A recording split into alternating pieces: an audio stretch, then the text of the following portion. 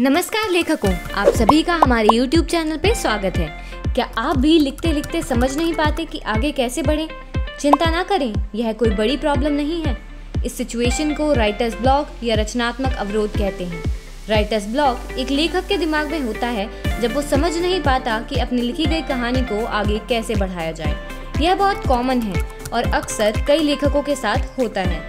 लेकिन अब इसे सॉल्व कैसे करें? इस वीडियो में हम आपकी मदद करेंगे और सिखाएँगे कुछ टेक्निक्स जो राइटर्स ब्लॉक को पार करने में आपकी मदद करेंगे। सबसे पहले राइटर्स ब्लॉक को बहुत बड़ी प्रॉब्लम ना समझें। इसे क्रिएटिव प्रोसेस का हिस्सा समझना ज़रूरी है। साधारण तौर पर हर राइटर इस दौर से गुजरते हैं। महत्वपूर्ण बस यह है कि इसे आगे कैसे बढ़ा जाए। तो चलिए जानते हैं इसके कुछ तरीके। फ्री राइटिंग कोशिश करें कि आप थोड़ा टाइम फ्री राइटिंग के लिए निकालें। रोज 10 से 15 मिनट का टाइम सेट करें और जो भी आपके मन में आ रहा है, उसे पेपर पर लिख लें।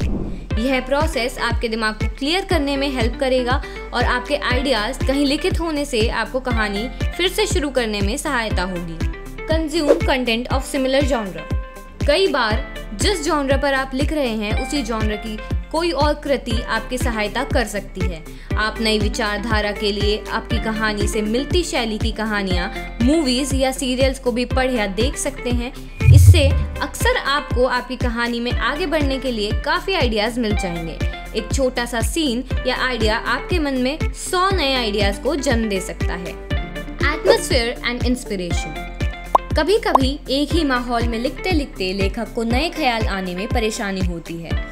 एक नया माहौल और एक नई इंस्पिरेशन आपकी कहानी को आगे लिखने में मदद कर सकती है। जैसे कि आप कोई भी कैफ़े में जाकर लिख सकते हैं या कहीं बाहर नेचर में जाकर लिखने की कोशिश करें या आपकी कहानी से रिलेटेड कोई जगह पर भी जाकर लिखने में आपकी कहानी के लेखन को बहुत मदद मिल सकती है। Discuss with colleagues and friends दो पर्सपेक्टिव्स एक से बेहतर होते हैं। साथ ही लेखकों या दोस्तों के साथ मिलकर आइडियाज़ डिस्कस करें इंटरेस्टिंग बातें या दूसरों की कहानियाँ कई बार लिखने के लिए कंटेंट देती हैं। एडिंग कैरेक्टर्स कहानी आगे बढ़ाने का एक बहुत अच्छा और सरल उपाय है कहानी में एक नए किरदार का प्रवेश।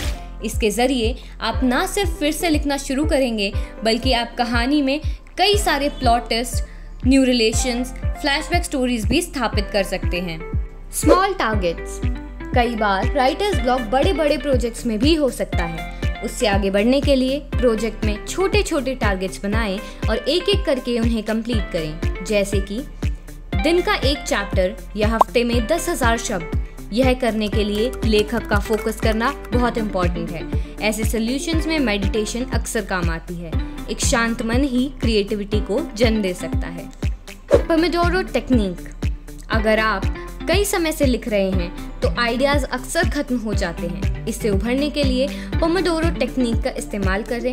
इसके हिसाब से करीबन 25 मिनट लिखें और फिर 5 मिनट्स का ब्रेक लें। यह करने से आपको थकान भी नहीं होगी और दिमाग भी फ्रेश रहेगा।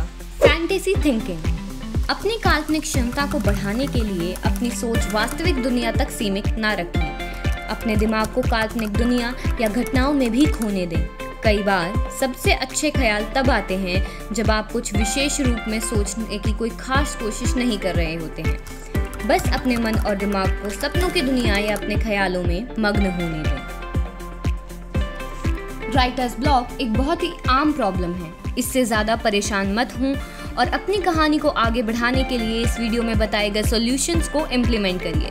याद रखें, हर महान लेखक का प्रॉब्लम से सामना होता है। यह आपकी सोच और दृढ़ता पर निर्भर करता है कि आप उन्हें कैसे पार करते हैं और उन पे विजयी। हम उम्मीद करते हैं कि यह वीडियो आपको आपकी कहानी को आगे बढ़ाने और आपके राइटर्स ब्लॉग से आगे बढ़ने में मदद करेगा। आशा है कि आप इन नुस्खों का पूरा लाभ उठाएँगे।